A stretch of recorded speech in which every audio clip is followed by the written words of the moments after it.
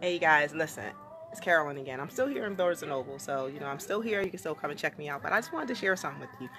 Back, and I posted this last year. Back in 2018, I came into this Barnes and Nobles in Willow Grove, and I put my book on the shelf like this.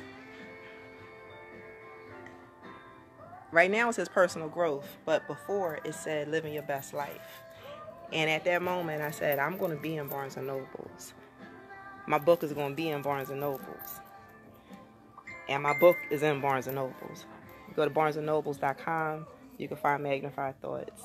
I have had my book signing in Barnes and Nobles not once, but twice. When I reached out to other Barnes and Nobles, they told me no, but the one that told me yes is the exact same one that I put my book on the shelf. You can't say that this thing not real. Manifest your dreams and walk in it. Take care, you guys. Bye.